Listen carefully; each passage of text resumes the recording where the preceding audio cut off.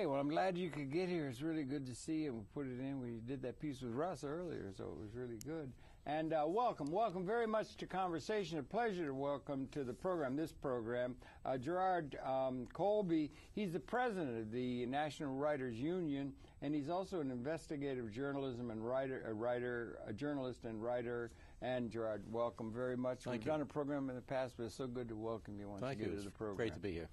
I wonder if you could, as, as our want on this series, we've got 58 minutes, and in a very real sense, I know you got a lot of things to talk about, but it's going to be the Gerard Colby hour in a sense. So I wonder if you could uh, share your background a little bit, born and raised, that kind of thing. Well, I was born here in, uh, and raised actually in uh, Bayside West Mm-hmm. here in uh, in New York City, and uh, went on to uh, college at uh, State University of New York. My father died, so I had to quit for a while and go to work, which was a good experience actually, and Okay. did a lot of different types of work, and uh, eventually uh, went back to college in 1966. was that back to SUNY again? Uh, that's the first time I went to SUNY. This Which, last which campus? Uh, actually, Oneonta. Oneonta, way Oneonta, upstate. Yeah, that's okay. right, way upstate. Yeah. Very.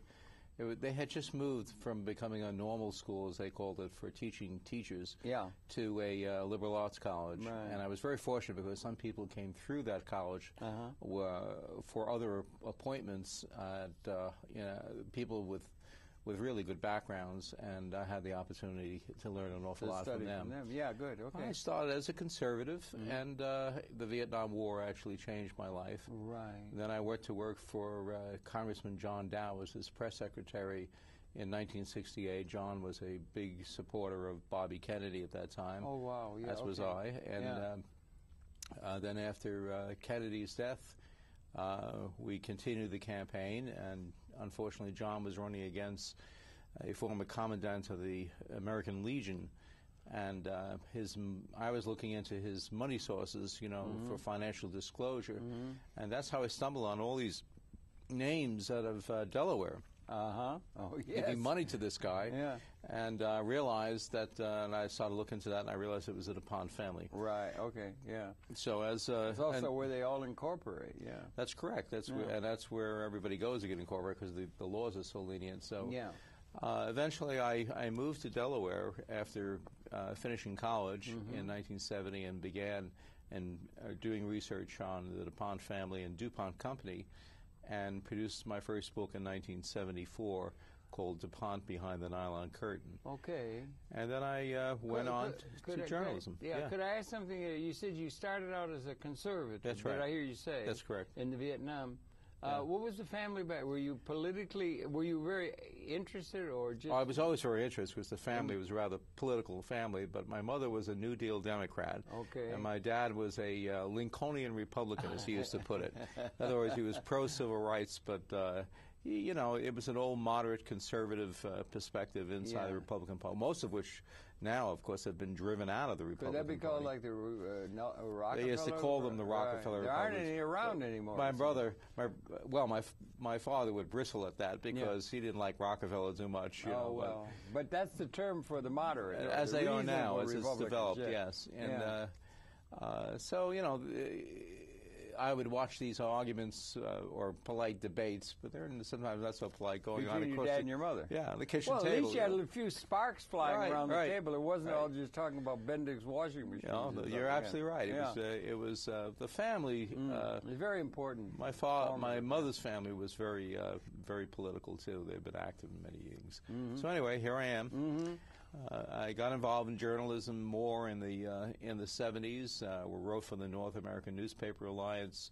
Uh, did some correspondence work in South America as well as in Africa, and uh, came back did an investigation for a magazine called In These Times, which is still publishing out of Sure, Chicago sure. on the uh, arson that was taking place along the Brooklyn waterfront, and went back to Africa to cover the uh, uh, the uh, rise of uh, Robert Mugabe.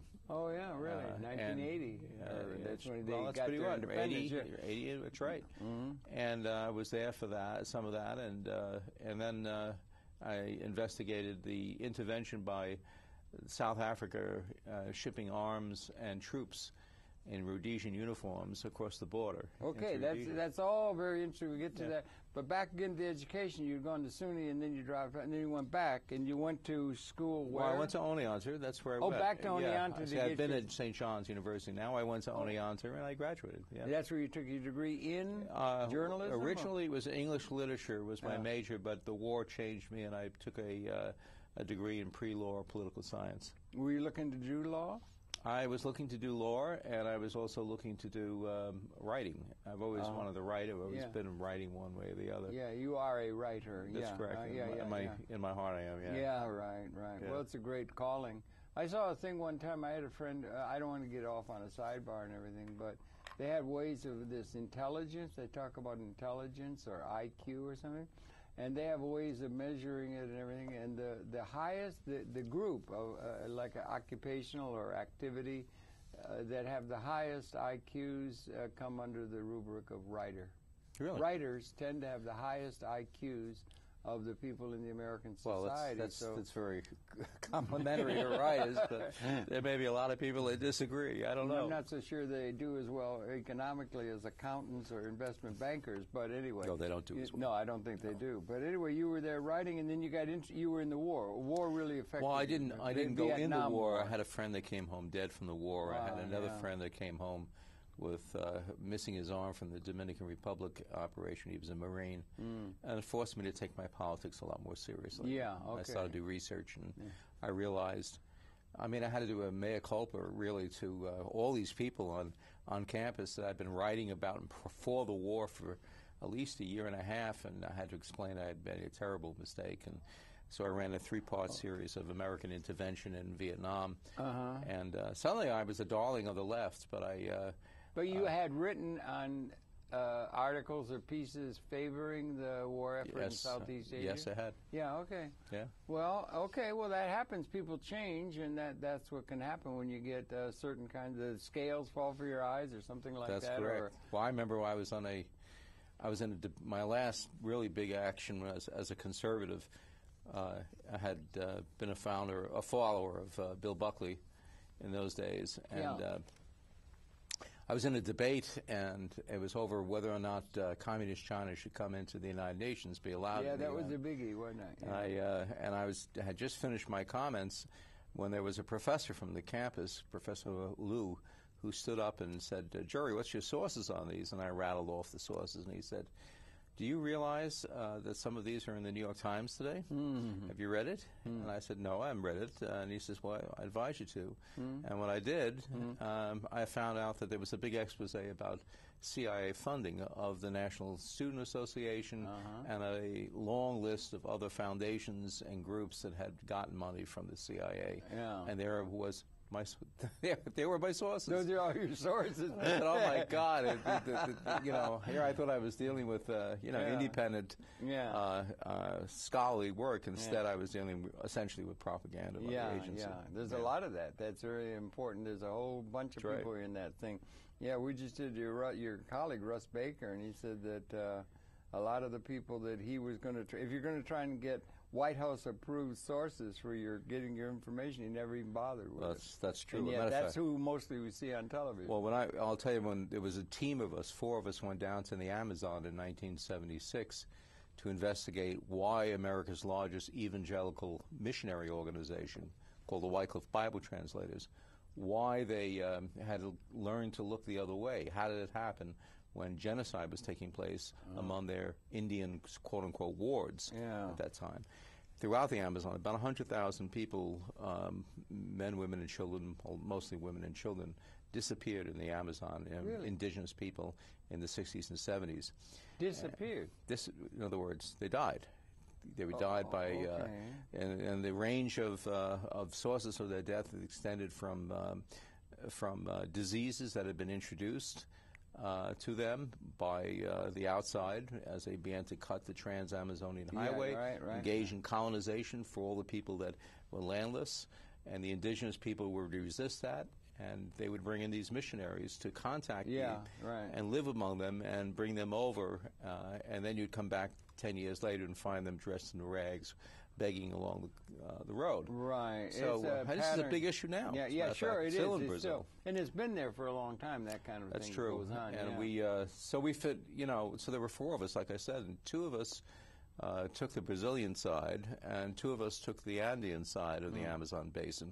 And the idea was to meet together in Porto Velho, which is the western part of, of Brazil. Mm. Uh, then my two friends made a terrible error when they came into Brazil. They uh, they signed up as journalists, uh, you know, when they came in for their visas. Uh, they uh, and this is the era of the dictators. And when there was the National Intelligence Service was running around uh, killing people as as death squads, and um, uh, and then after they registered. Uh, dropped by the U.S. Embassy, did the same there, and then went on promptly to the one of the Villas Boas brothers, one of the major figures of uh, human rights for, in, for indigenous people in that country, who was already under tremendous pressure. Well, of course, uh, their phone was immediately, immediately they started getting phone calls. Uh, what are you doing here? Uh, then there was uh, someone outside starting to follow them, and finally they were shot at, and they uh, they fled the country. Boy. They fled the country. So uh, at that time, my uh, I and my colleague, who was who turned out later to be my wife, Uh-huh.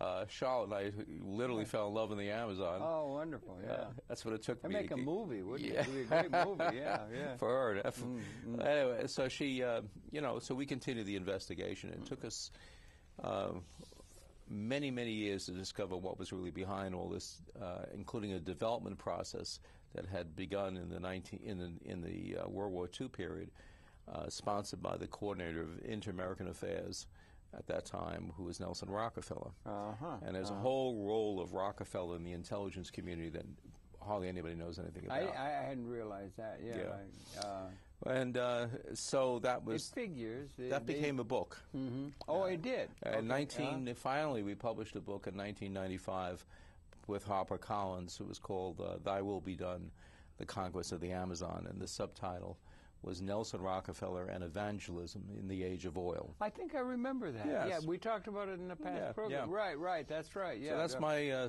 story. I mean, since then we've we've done other work in journalism, uh, and finally there was a, um, a a work that came out called Into the Buzzsaw. Uh, leading journalists exposed the myth of a free press and won the National Press Club Award. And- Congratulations. And, I had a uh, lead article in that uh, Uh-huh. describing my career, but others had had their careers, and how difficult it is as journalists to get stories out to the American people Yeah. and uh, uh, and how the, there are encumbrances uh, by the corporate owners of the media. So we uh, we describe that in that book, and then I, um, for years, I've been in confronting um, censorship, including um, the first book I uh, had, a DuPont Behind the Nylon Curtain, which um, was the subject of threatening phone calls from DuPont Company to um, to Book of the Month Club to get them to drop the book in 24 hours, unprecedented. And then they uh, then the pressure went on to my my publisher, Prentice Hall, and they decided to kill the book privately. Uh, it's called privately publish a book instead of really publishing it. It's called privishing, which I, uh, I've not heard that term. Yeah. yeah, which means to kill a book quietly. You cut off the life support system. You don't tell the author. You uh, cut down the print run so it can't price profitably according to any conceivable formula. Uh, you cut off the advertising. You cut off the speaker's tour. You know, the author's tour. Yeah, all the promotion is Yeah, really I- I didn't Same in the film industry. I. And, and I had no idea that that was going on until it happened to me. And what I decided to do then, after that happened, what did you call? What's the term? Privishing. privish, P-R-I-V-I-S-H. Okay. Uh, As typically to it's e- publishing. yeah, that's right. And, typ- and we didn't even know about this Yeah. Uh, see, I sued Du- DuPont Company. Good for you, yeah. I sued Prentice Hall, and uh, we found an expert witness from uh, William Decker from uh, uh, a major publishing house who testified about privishing. That it's commonly done, commonly understood, and it's all done quietly, and the author hasn't the slightest idea that he's been censored. Isn't that part of the business deal that's done? Because you, how much uh, you're going to get, if it's a movie or whatever, right. uh, the the promotion budget is something that's really important. They'll be trying to say, well, we haven't got the, we can't. It, that's important to get that worked. You didn't have it. You were working on. You didn't have an agent or anything. I did. Out, I had, I had a literary agent that behind my back was his name was Oscar Collier. It was also my experience with agents, uh, uh, uh, who uh, was collaborating with uh, with the Dupont family. Uh, a writer for them called a guy by the name of Mark Duke, who actually knocked on my door one day and said he was working on a piece for Ramparts magazine The Ramparts. and uh, and gave me the name of his of a friend, a mutual writer friend, uh, lived in Dover, Delaware. Called my friend. He he vouched for the guy.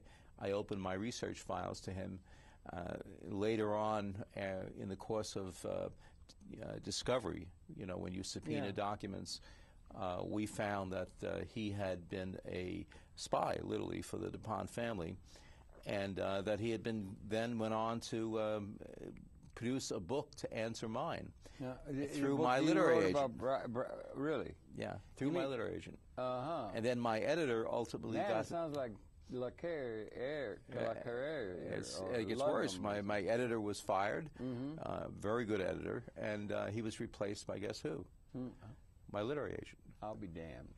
Oh boy, what a book! What a movie again. Yeah. We got all kinds of movies. Well, I, could I, I try to ex- explain that in a 1984 uh, book called DuPont Dynasty Mm-hmm. that I published, and uh, it was encompassing the material of the first book as well as another 300 pages. Very thick book. But in the course of, uh, of doing so, I wrote a about 30 pages on the suppression of the first edition, naming names, pulling out the court court documents. Oh. It's an important that we'd done. issue. It really is because if they don't promote it, they don't get it out there. They, might as well not even bother Well, with the, uh, putting here- it out in the first place. Here I was talking like with you right now Mm-hmm, on the Financial News Network, and the we were talking about a number of things about the DuPont Company, and uh, finally he turned and said to me, the interviewer, uh, "I understand you've had trouble with the first book," and I said, "Oh well, let me." Matter Mm-hmm. Yeah. Mm. of fact, and I turned to the book and I went to the page, 6 Mm-hmm. page six thirty, where well, it turns out page 630 to 659 were missing from Mm-hmm. the book. Exactly the pages that talked about the suppression of the first book. no kidding. I got off. I, you know, I did my Jackie Gleason, went hubba hubba hubba, and got off the. And I get on the phone, and I, I called up my my uh, wife, uh, Charlotte, and Charlotte checked, and she found out. Yeah, well, we had about ten complimentary copies, and then Yeah. three of them were damaged. So I, I called the literary uh, our publisher, and the publisher looked into it and called back and said, "My God, we've discovered that about 3,500 copies of the for 10,000 first print run had been damaged." I'll be damned. And that's exactly. In that same part taken out? Yes, and that's ex- and he says the only thing I can tell you, Jerry, as he looked into this, is that the um, the printer uh, is all gets 80 percent of the of his money from Prentice Hall, who was the publisher of the first book. I'll be damned. So um, uh, he's dead now, the publisher, um, and uh, th- we never got that book out. Uh, we it couldn't price profitably. It was exactly what they did with the first book: Right, cut the print run down by about one third. uh-huh. And so um, uh, that's the end of that story. Although I haven't finished doing my research on the Dupont people, and I anticipate that I will be coming back.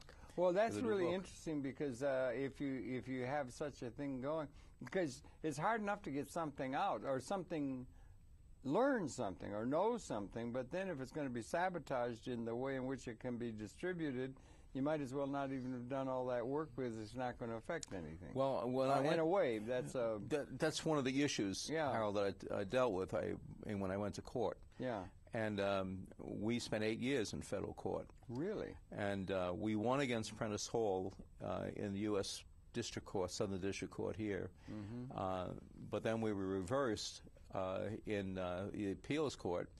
They did not find an error of standard of law. They uh, did not find an error of fact. They the uh, the decision was written by a uh, uh, by uh, a judge by the name of Ralph Winter, and he simply said that this book could not have ever gotten off, even though it was it had a two page uh, Sunday edition New York Times, uh, Yeah. very praising. uh, Really? Okay. Uh, and it had been taken off as one of the top 50 books in, in the United States. Wow. By the if- Times? New York yeah, Times? Yeah, but Wow. they but they couldn't. Uh, Prentice Hall could not fill the orders because they had cut the print run. Yeah. So the book died. So um, we made all that argument in court, uh, but the appellate judge didn't, and his panel didn't want to hear it. And it turns out this judge had sat uh, as a. Um, uh, all I can tell you is that he had sat as a uh, as a clerk to a judge who had just been named in Delaware for suppressing asbestos poisoning. Wow. Of DuPont workers, oh. and you would think maybe he would recuse himself. Wow. no, so that uh, we then at that point, Larry Tribe of Harvard yes, it, of course, stepped yeah. in and said, "This is a violation of uh, this is the First Amendment issue because they this is now entirely different. The uh, the court is declaring that this book for the conservative political perspective of this judge right. Uh, could not have taken off." And therefore, is throwing out all the evidence and the facts and the and the finding of the of, of the lower court and they we appealed to the Supreme Court with the ACLU. Were they did they accept it? Or they didn't accept it, no. and that's the Rehnquist court. Yeah, you know, right. it was very tough to get anything through. Yeah, is. Yeah. So we, um, I at that point by then I that's learned. very disquieting. Well, I learned I mean, my yeah, yeah, sure it is. Uh, you know, and we find that this happens a lot. So really, you do. Well, you got yeah, other people yes. you run into. As a matter of fact, Mm-hmm. Hal, in 1981, b- even before the decision had come down, Mm-hmm. um, many of us who were writers, uh, had written for Nation, and others, who all, we all came together in something called the American Writers Congress. Uh huh. We expected 81, did you say? 81. Okay, yeah. We expected only maybe um, you know maybe four or five hundred people would show up, writers. Yeah. Instead, 5,000 showed up. Well, Wow. 3,000. 3,000 Wow. showed up.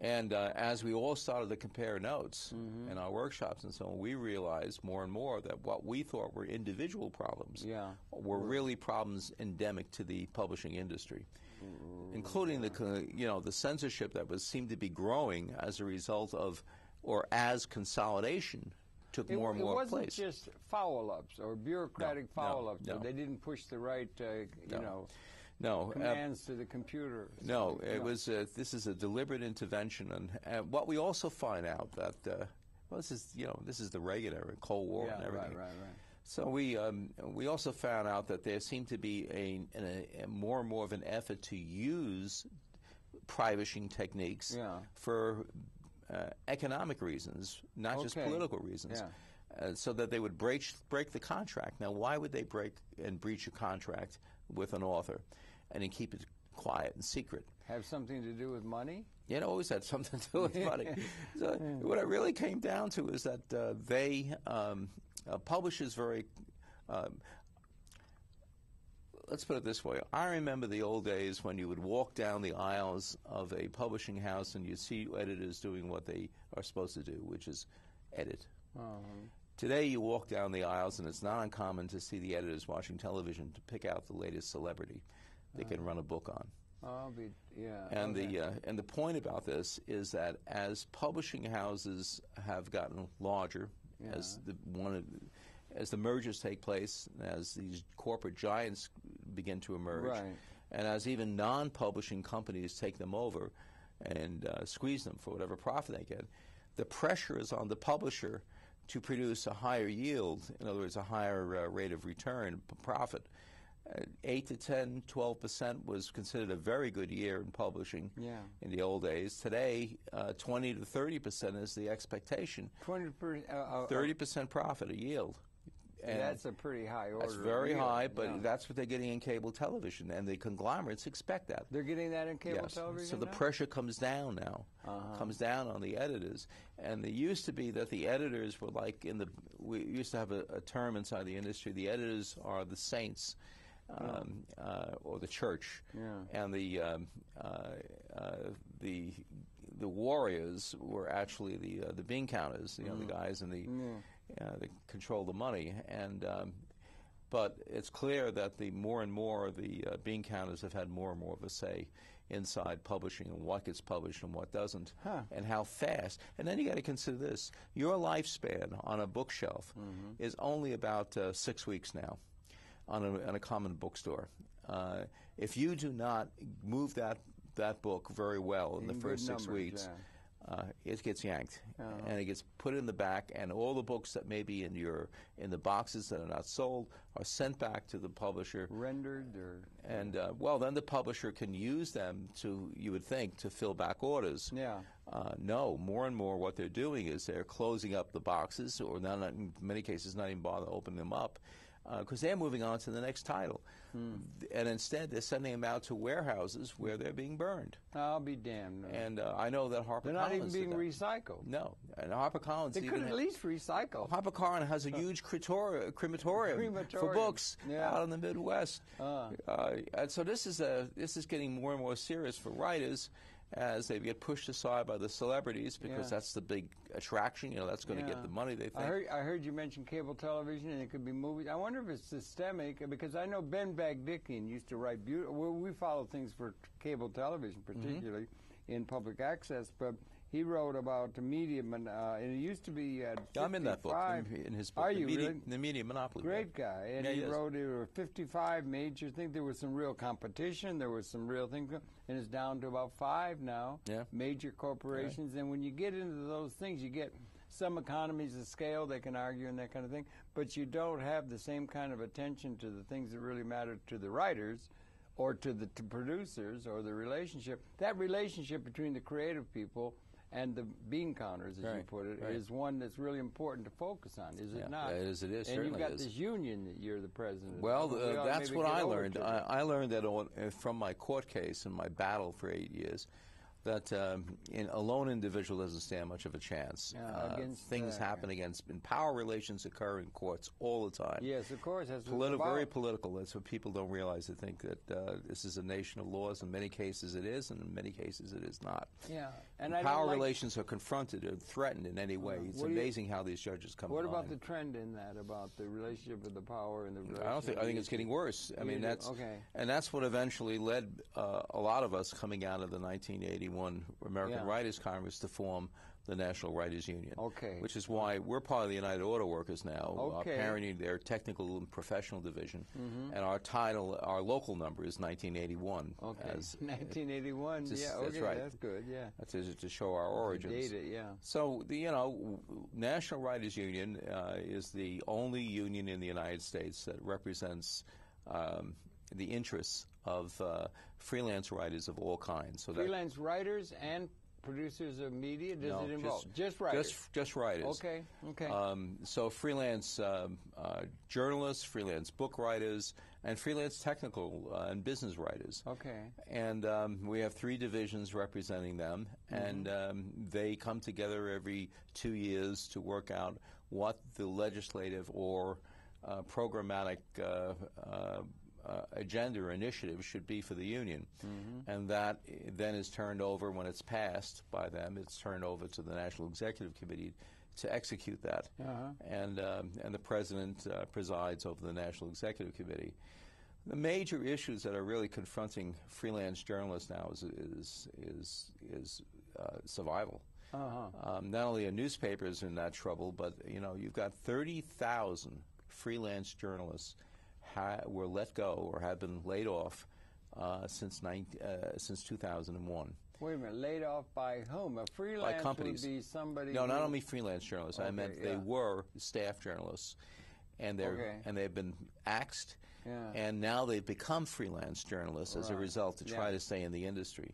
So much so that the Newspaper Guild actually amended their bylaws to establish a freelance small division to try to hold on to their Who, members. who, who amended the bylaws? Uh, actually, it was Linda Foley. She was president Yeah, of the I Newspaper Guild. I don't know the newspaper guild. That's a, uh, That's of the people in the industry. staff people, Yeah. uh, staff writers, staff journalists, and uh, we represent the freelancers on that side. I see. Right. They, they, they have a. You can be a freelancer. Then they have stringers who have a certain kind of relationship with a right. Uh, with a distribution company or something. right. So I don't understand all well, the nuance it depends. Uh, if a stringer is on salary, then he is really working for them, Right. and isn't a freelancer as such. But if he's Freelancer is like a. in business for himself, essentially. That's something, right. yeah. And Uh-huh. but there's a problem there because sure. the reality, of course, is that you know you're effectively an, are an employee of your publisher and of your company. They will essentially lay out the facts and lay out the terms of contracts. If you don't know what your rights are, and Mm-hmm. if you don't belong to an organization uh, representing many thousands, so that people. Uh, when they're negotiating with you, with the publishers negotiating with you, they Yeah. realize that you're not speaking just for yourself, but for many other people that are Yeah, backing you. in solidarity. That's right. Yeah. Then um, you're in trouble. You're you're the lone uh, David against the, the Goliath. Yeah. Uh, So um, and they can write anything they want. Well, as a matter of fact, Oh. they have. What we, for instance, what they were doing for years, and they still are.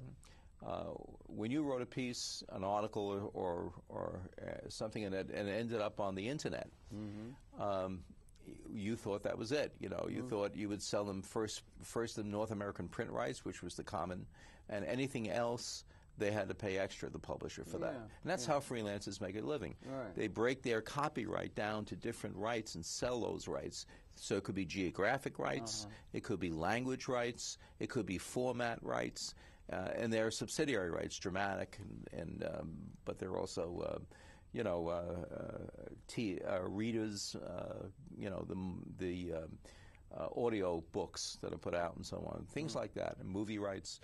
So all of that um, uh, is how you make a living as a journalist. That's why you have to know about your copyright law. You have to know what your rights are. You know have to know how to bargain on these things. And Very often, people who are really creative or even high intelligence have a, not a very good tolerance for the business That's sense. right. So Uh, they're like, um, babes in the woods. yeah, babes in the wood or fodder. And you and you really yeah. need somebody like a union or like a, a good literary agency Yeah. to defend your interests. Yeah, the literary agency system doesn't serve well enough to freelancers. Well, the problem with literary agents, and I have a lot of them, they're good friends, and the, most of them are good. Are they okay? That's Most of them are good, but the reality is that uh, no, I mean most of them are try to uh, live in do good help- faith performance Right, of okay, their yeah, right, yeah. responsibilities. There are some that are, that don't, and they make a bad name for everybody. But uh, most of them are okay. But uh, the question is. Uh, how often can they go back to this to the publisher and make strong demands with a publisher when they have know that they're going to have to go back to the same publisher with another contract for another contract for another book? Right. So there's a bit of a bit of compromise. I wonder if that- that applies to the economy as a whole or not. Well, to a degree it does. Uh-huh. Um, but the question is that they get their they actually you would think they get their money from their from the from the writer. They get a, a commission. Yeah. Can have been anywhere from ten percent as it was when I started to now today twenty percent of Mm-hmm. All advances and so on and all kind of income that comes in for that contract. Mm-hmm. So uh, um, you know, there's there's some that feel too compromised and will cut the deal, like Oscar Collier clearly did with Prentice Hall uh, when he was know. representing my book. Oh, oh yeah, right. Okay, yeah, yeah, yeah, yeah. So, um, uh, so having an outside force that's controlled by writers and who can actually set up, uh, well, for instance, we have a grievance and contract division where we have trained contract advisors uh, that will help you and take you through the negotiations with the publishing company. And then, if there's a problem after that occurs, uh, say they don't pay you the royalties on time, which is not uncommon, Mm-hmm. or say there's some other responsibility under the contract they didn't carry out, we have trained grievance officers who will then intervene for you and help you in your uh, in your confrontation with the publishing company to come around. We've won over 1.9 million dollars for our members Wonderful. uh, yeah. that way, and Do you have um, to go? Do you have to do court action, or is there something? Sometimes we tend we go right before court, and we Yeah. tend not to get involved in a case that obviously that already has legal legal representation. Um, but if they and and then many people then not many but some people feel that they can go on to court. But let me tell you this: yeah, if there's an expensive for one thing. now, let me get back to the internet issue. Yeah. Um, we have all these these articles being written, and what we found out is that the companies, the publishing companies, were reselling the articles to database companies on the internet, who in turn were selling them to researchers at libraries or students at libraries So it's out. or consumers, So the product is out. and without any compensation, Compensation to the for writers, to the yeah. copyright holder, the, the writers. To the one who produced the work in That's the right. first place. That's right. yeah. The original creator. So they're, they're, um, uh, we realized that this was very serious, so we try to get them to change their policies, and it's very clear they were moving in that direction. The publishing The houses didn't want to hear it. Yeah, the Yeah. technology is moving that Well, way. that's right. The You didn't technology, have the 10 years- technology's yeah. there, you know, but there, the technology also would allow them to um, identify when the when an article is, for instance, being sold, and to uh, have a commission on that, just like in the mu- music industry. They got ASCAP. That's right. Yeah. Well, we're trying to set up the same thing right now. There's not been anything like that in like the that. history of the scribbling class. no. Mr. Baker nothing, nothing, nothing at all for Mm. writers, and uh, we're now in the process through a number of court cases and suits. Uh, writers are finally putting it to pieces together for making that happen. Mm-hmm. But uh, uh, we went, we fought this right up to the Supreme Court about these. We call it a rights grab, you know, and we call the people that are in, infringe copyright. Um, which is our livelihood, um, pirates. Uh huh. They're pirates. They, they're, so we uh, took them to the Supreme Court and won. The Supreme Court of New York, United States. United States. Right. 19, um that's right, 2001 came the decision as Tasini versus the New York Times. New York Times was among those companies that was involved in this, but there was a whole slew. Yeah. Uh, and that were defendants, and um, we won. And uh, Wow. and then the next question is, what happens? Yeah. Well, do they come to terms? They have compensation they have to pay. Right. They also, if they willfully did this, uh, they would be involved or exposed to punitive Yeah, damages. you could be criminal. That's right. Mm-hmm. And the statute is very clear in the Copyright Act that you could be uh, hit with a huge fine. Mm-hmm. Well, what the publishers did is they did an end run Oh. around the Supreme Court decision, and they start to impose something that was introduced in the uh, in the 90s called the All Rights Contract. So typically in the internet, if you uh, want to sell many rights, um, now they put all those rights together into the contract, and they say um, you are surrendering or licensing the, the use of this uh, book uh, forever. Uh, in, in throughout the universe in all in formats yet to be invented, and um, you know this is a, an outrage. Yeah. And uh, but they're getting away with it because they can impose it. They can say if you want to get published, this is what you have to do. That's right. It's, Or uh, take a walk. So we um, buyer's marker. so there, some uh, reporters uh, confronted this, for instance, by the Boston Globe, which really has a dominant position in the b- freelance market in, in the Boston area, um, decided to sue. And unfortunately, they took their case to Massachusetts State Court. And uh, New York Times lawyers, who New York Times controls the Boston Globe, came up. Okay, and yeah. defended the the uh, company, and um, and turned around and and you know actually we we consider this a violation of also the Constitution.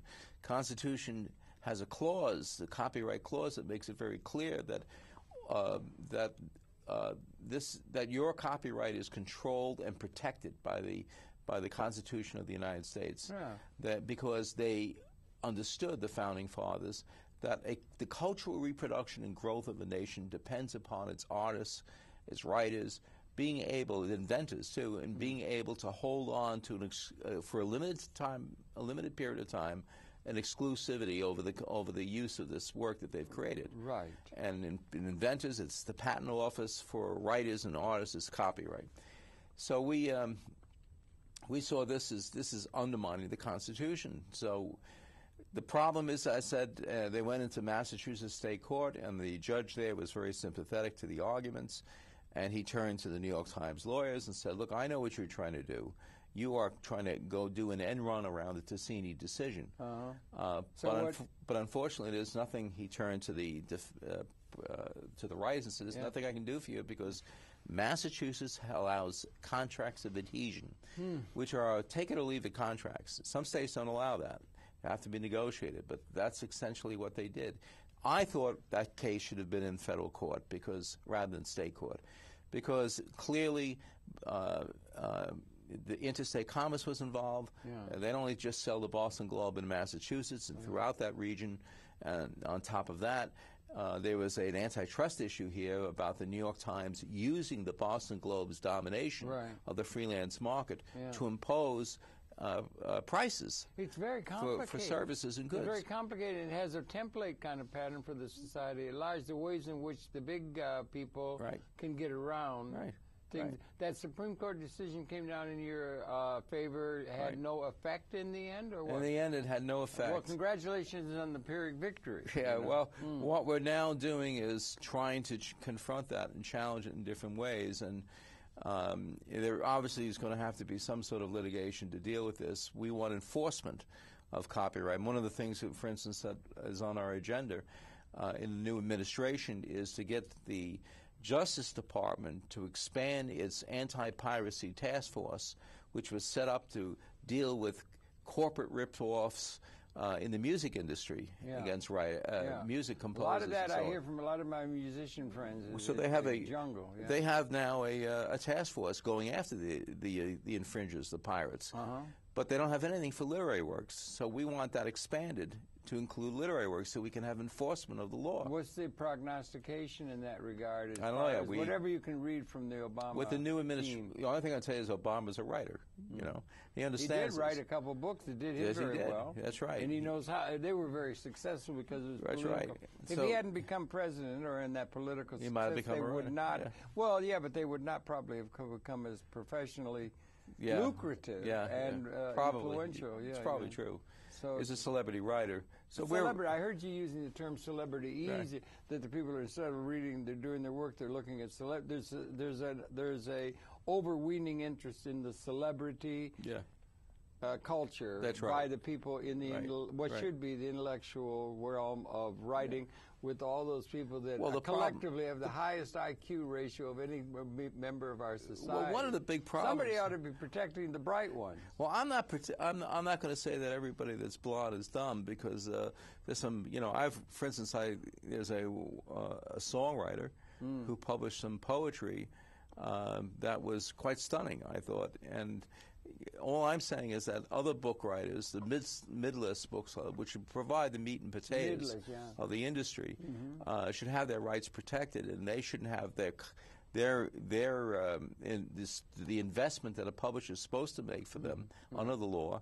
You know, you know, when you publish a book, it's not just printing it. Right. You're supposed to promote it. Yeah, absolutely. And, well, uh, isn't it the same with the movie or with the television or with? Well, it depends on the contract, but there yeah, is yeah, there no, is a I mean- standard in the industry. No, but I mean in for. terms of generic. I mean, it's the thing. It's the creative community versus the bean counters. In That's a pretty way. much it. But And- but uh, but behind the bean counters are the big guys that own the corporations. yeah, that's Who right. Mm-hmm. are insisting on higher rates of return, and they, and what's driving that also. Well, that's the- been going particularly gro- grossly in this last year when we've been in the thrall of the neocons Well, and the true. Friedmanites and all that kind of thing. So maybe there's a better, Maybe there'll be change. better winds ahead. Well, Although it's, uh, it's also largely induced to a large part by the technological uh, Well, march gi- of history. I'll give you another problem. Uh, the the other problem is uh, right now there there was a bill introduced last year, the year before, um, and uh, will probably be introduced this year, um, called the Orphan Works Act. Now, the Orphan Works Act it says Orphan? orphan.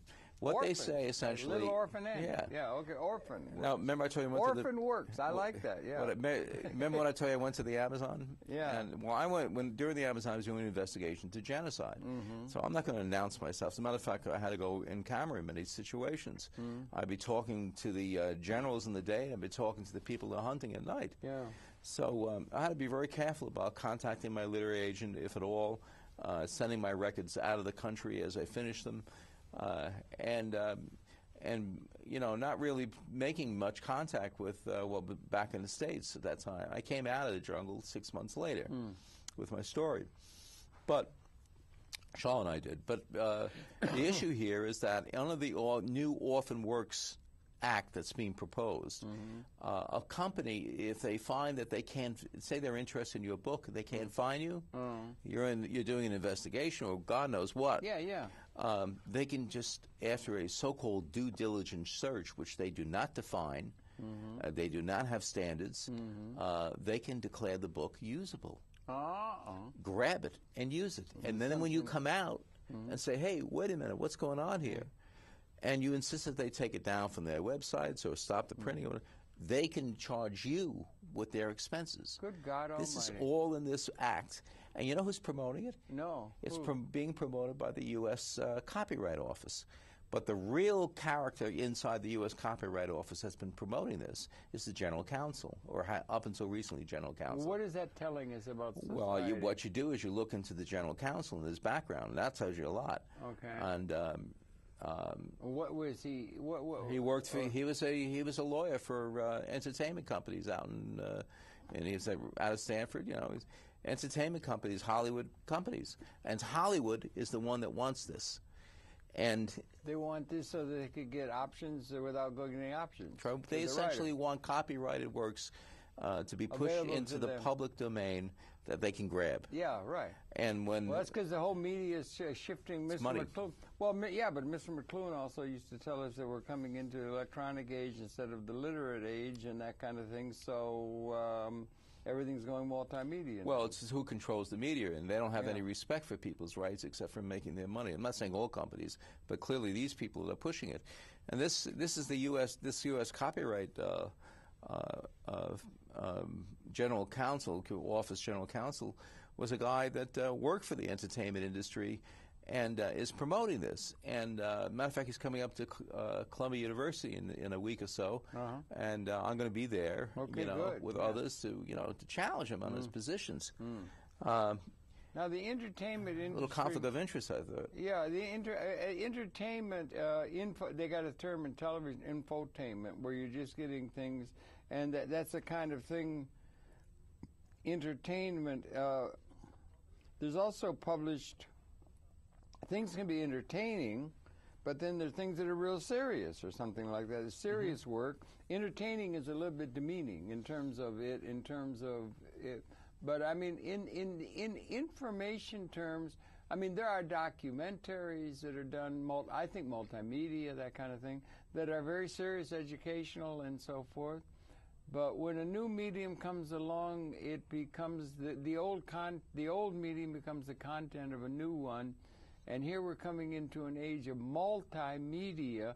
And now, when you get the internet coming, where you can stream things and you can have uh, swimming in bandwidth and so forth, the literary tradition of writing is coming under challenge. Do you think Well, I think it's also by the multimedia? and also by the kind of uh, a school system that uh, has not yet confronted seriously the damage that's being done by this to the educational process of the citizenry, That's the young a bigger citizens. social issue. Yeah, That's right. Yeah. So you got these kids that are watching television for two, three, four hours a day Mm-hmm. uh, instead of uh, reading, and uh, they don't read. As a matter of fact, newspapers are dying. They, they turn on the internet or they turn on the television, Mm-hmm. and uh, it's a fact that the, you'll get sound bites, but you're not going to get the in-depth analysis Well, that, that, you there's a, there's a, there's a prejudice there, or there is a thing about that. Like McLuhan again, you would I used to stu- visit with him every spring and everything like. that. I read that Gutenberg Galaxy was in tour de force, and he was saying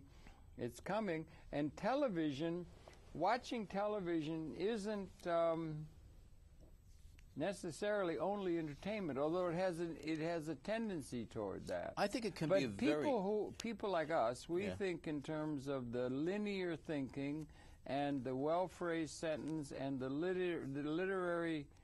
And he said the medium is the message, and more important than the message is the medium by which things are being conveyed. And it seems to be it's a relentless thing. and We're going to have unlimited. Band- we're going to have holography soon. Whoa. We're going to have unlimited bandwidth, which we've never had.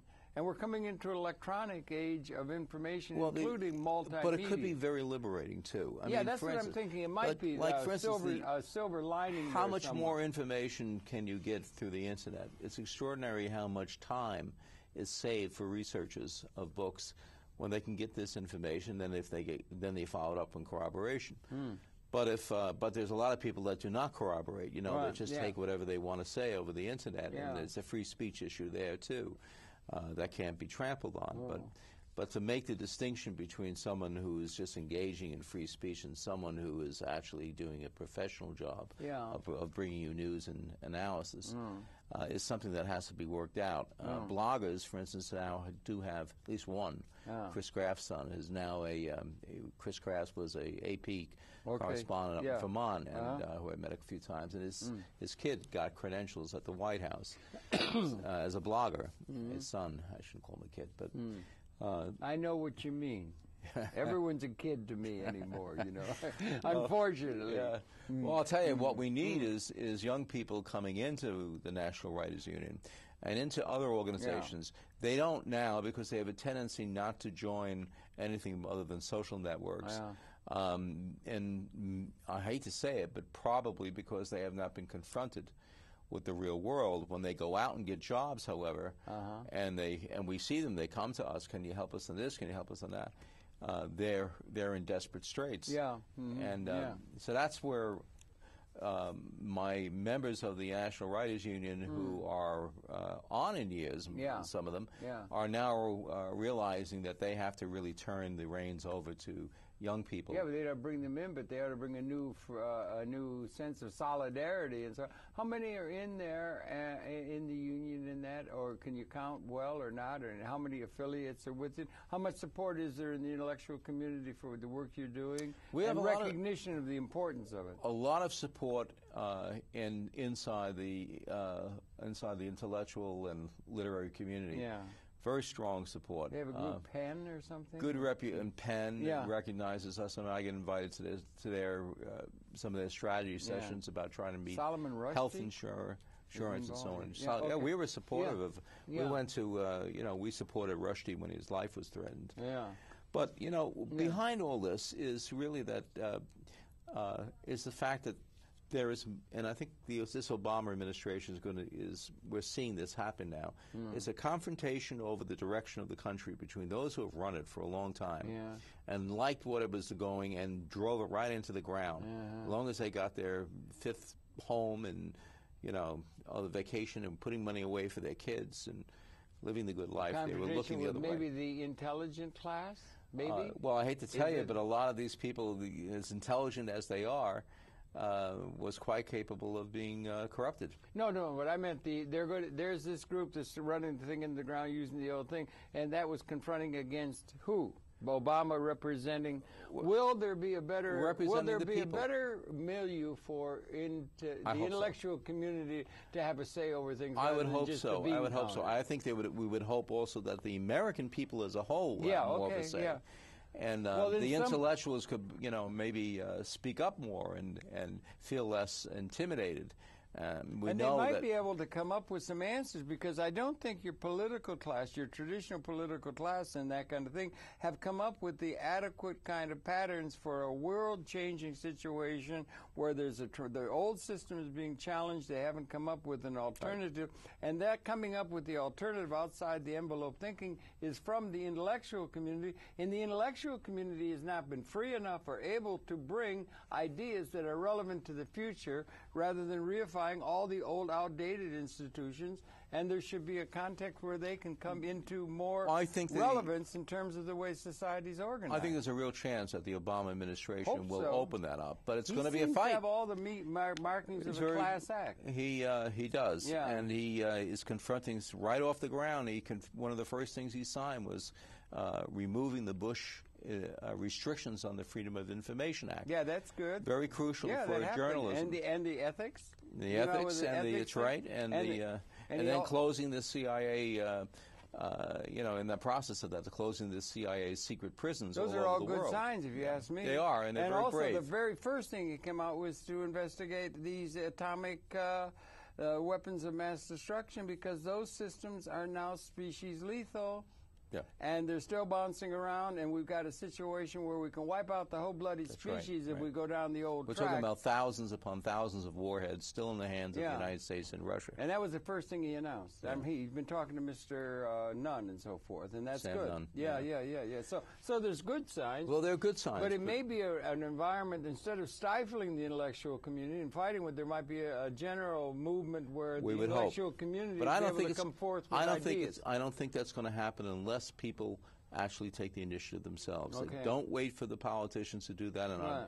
uh, Obama, if he's going to succeed, he's Yeah. going to need the support of people. And frankly, Somebody's got to keep their feet to that's the how fire. that's how he got into power. Yeah. He got into power because he was one of those that was willing to think outside the box Yeah. and talk directly to the issues. And people saw how he's frank Tech, he's tax tech savvy. and uh, And that's important. Yeah, absolutely. And the other part of it is that he's not really an elitist. You know, Mm. he's not, and he understands the connection between a society capable culturally of reproducing itself and growing, Mm-hmm. Yeah. and the role of the common people to make that happen. Yeah. And um, so that's all good. Yeah. But that does not mean the corporations are through. And the Orphan Works Act, Or I the- expect on the the, old- table again. You'd call that the Ancien Regime. Yeah, Versailles that's right, the days. ancient You- regime. Yes, you know they were in place for five thousand years after Rome. Yeah, yeah. And they just thought that they were legitimate. They had the legit. Anybody questioning the thing, you're going to have to have a system that's going to be, be able to comprom- to appropriately uh, subsume the outdated institutional thinking and so forth, but have it in a way where they'll be able to understand it in the end and go along with it. So it's beyond a dialectic. I think if we're going to avoid Yeah. wiping out our species, Yeah, yeah. that's the job for the intellectual class. The way should be cleared for them to be able to come forth in a way that can uh, Well, uh, can encourage the intellectual oddly enough, efforts and o- not discourage them. Oddly enough, and uh, your union is very important in your Yes, work, and I congratulate you on it very but much. But you know, oddly enough, we, we it's and not oddly enough actually, it's uh, too often it's catastrophe that opens the doors to get pe- and opening minds to question. For instance, I was at a, a meeting of the museum at the Museum of uh, um, uh, televi- uh, Radio and Television Yeah. right here in, Yeah. in Manhattan. There were about 30 organizations that were invited to uh, come together and talk about the state of the media. yeah, And, uh, important. yeah. and there was people like Dave Marash was there. Yeah. Um, uh, the head of the International Federation of Journalists was there, Aidan White, and a couple of people that were anchors and so on. And they revealed that they had been told during the Iraq War, for instance, not to really report about what they were seeing. My God. Uh, that they would the they, the the uh, producer the guys on the top, not the producers, but the owners were frightened that they would be declared uh, unpatriotic. yeah, right. Sure, they put that. So they gave in. Yeah, sure. they gave in, and they put the they put the lid on the on and the and so the reporters were not able really to do their jobs. Right. You know what opened it all up? What? Katrina. All right, that's interesting. That's the disaster interesting. of Katrina Yeah, how and the lack of inept- response, and finally, you know, Bush couldn't deny what was going on, and No. Katrina, even though he brings black wa- uh, Blackwater uh, Yeah, yeah, guards, yeah. Uh, mercenaries back Like to patrol the mercenaries, like the streets of New Orleans. mercenaries I was like watching. Trenton. It was like Yeah. watching the the mercenaries of Rome come back from the colonies Yeah, to right. march down Rome. Yeah. So you know, so he couldn't he couldn't deny that anymore. And it opened up a window of opportunity, and there everybody was saying. Now we can get the stories out, and that's what they did. Well, let's hope that we got an opportunity that's coming. We're only a couple days into the new administration. Better give him some luck. But I know one thing that's going to help him maybe find his way is the work of the National Writers Union. You've had a hand, and all the work that went before that. Glad you made that conversion back there when you were a conservative, because I think you've joined into. But I always rank. wanted to be a writer. so- All right. Well, writers have the best in touch. So good. Thank you. Thank, Thank you. you, Thank you, Gerard. Ver- Gerard Colby, then, uh, president of the National Writers Union and a writer and investigative journalist doing the work of uh, helping to free up the intellectual creativity and survival of the uh, of the scribbling or the intellectual class, which is really called for in terms of the evolution of consciousness. Thanks a lot for all that good work. Thanks for coming in. My pleasure. Maybe you could think about coming over here and becoming a producer, maybe a television. You don't have an animus against multimedia. Oh no! Well, actually, I, I, I Because had a, your work's applied to all the creative. we had a uh, we had a, a public access uh, TV show for five years. In, Did you here? in Vermont? Oh, in Vermont. Yeah. Well, you might think about coming and joining us, become faculty over here. Self, because this is going to be streamed to the whole world. You understand? Yeah. And it's going to be up on YouTube by tomorrow.